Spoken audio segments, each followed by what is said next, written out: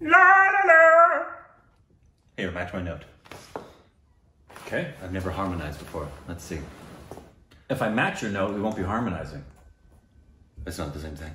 No, matching it would be singing the same note. You want me to sing a harmonized note to whatever tonic you provide? I didn't know there was a difference.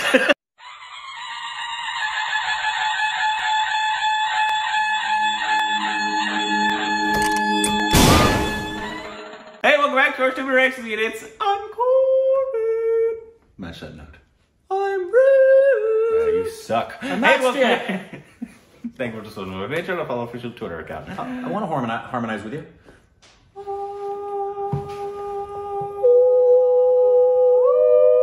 Wow, look at you. You jumped above me to the fifth. Well done. I was actually the third, you idiot. I was the third, you goon. Ah, 12. I don't know what I'm doing.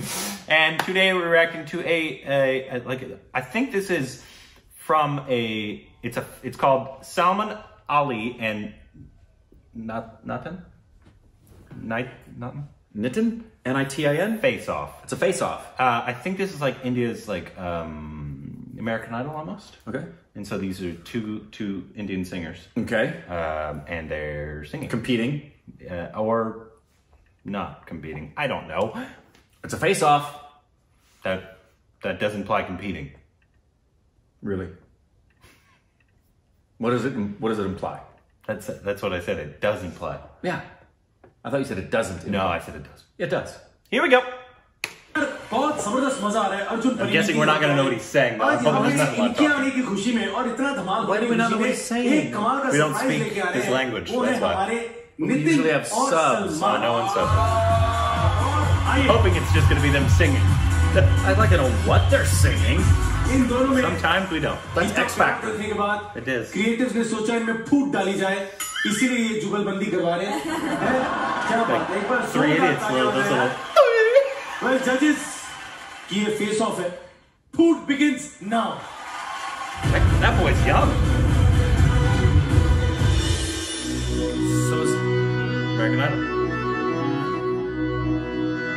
But it's a face-off, like the voice.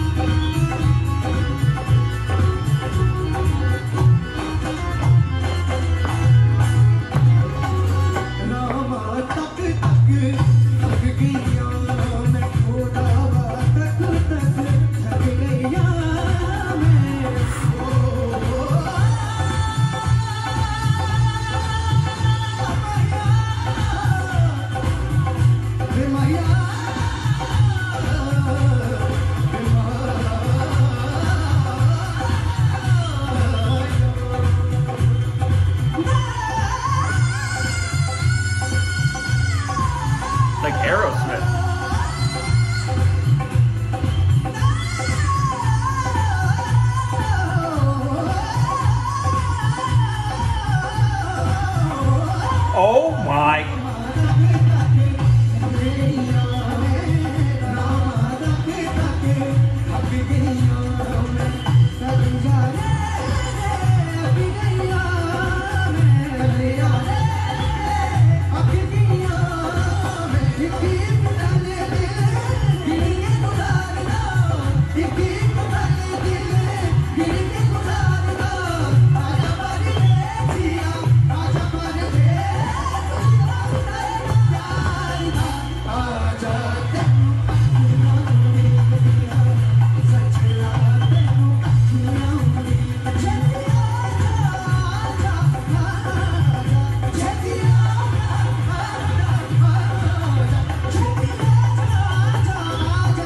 He's going to go down and have a, have a celebration with him down there.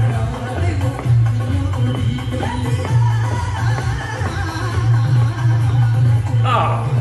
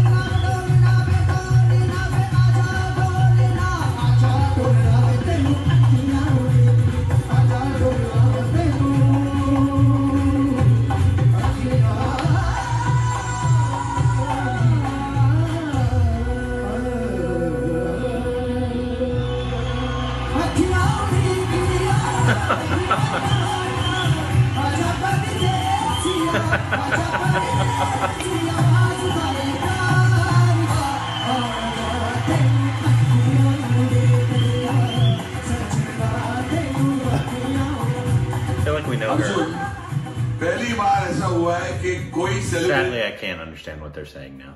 But In your face, American Idol. I would think I would watch Indians American Idol way before I would ever watch.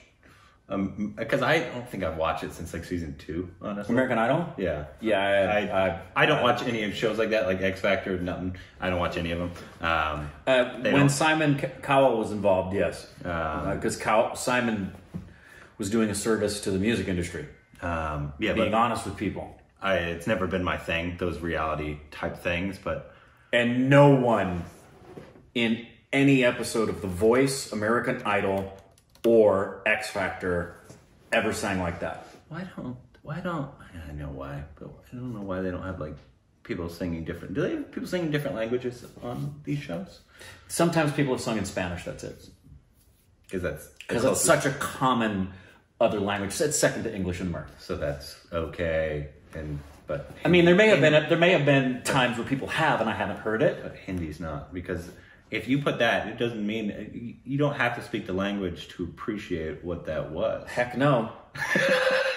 Any more than you don't need to speak any language to appreciate Ustaji Zakir Hussain playing the tabla. Yeah, And that's what that reminded me of. That level of artistic excellence. I, I've not been as blown away and I don't know by that as that reminded me of when I when we first heard him play.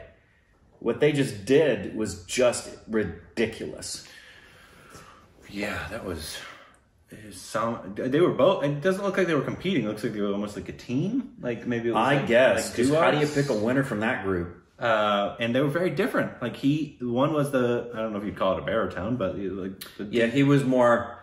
He'd be baritone slash second tenor, and that guy was a freaking alto. he was whatever Aerosmith is is. what- He was an alto or Freddie Mercury, which Yeah. is you got bass, baritone, tenor, and there's first and second tenors, and then there's alto, and there's first and second soprano. And some of the really high tenors, uh, like Steven Tyler, like uh, Stephen Perry from Journey, and like Freddie Mercury, they go between tenor and alto.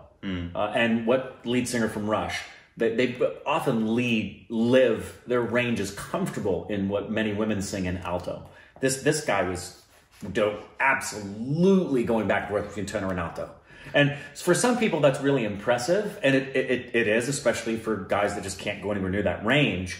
But there's also something to be said. It was Miley Cyrus who pointed out on one of the shows on The Voice. She said she's more impressed actually with people who can go down on the low end of mm. things. But irrespective of which sound you prefer, they were equally matched in terms of mastery of their instrument. Oh yeah, And I, I, every time I say that now, I think about what he said to us when he talked about mastery. Yeah. That you don't master it, you partner with it. Yeah. And they, man, that partnership and knowledge of their instrument. There's never been a vocalist on our American competitions. yeah. And I don't know if those. I'm guessing since they're on Idol, they're not like well-known artists. Um, but I'm hoping they are now. Yeah, it's like sign them up to be your uh, studio singers for the films you need. Or, or was this this year? I don't 'Cause It looks like this was posted It November. says November but I don't know if that was just when it was uploaded. It's older. I don't know. Good gracious. And who is that woman in the white? I feel like we know her. I'm not sure. Is it Madhuri Dixit? Be- Your guess would be as good as mine. I don't That'd know. be amazing if you grabbed that. Um, I just know I got nothing else to say. They said it with their singing. Man. What what can I say about that that wasn't said with what they did, other than do what they did, lay prostrate on your face and kiss their feet, because they just they just schooled every other vocalist I've ever heard on a singing competition. Yeah, that was that was incredible.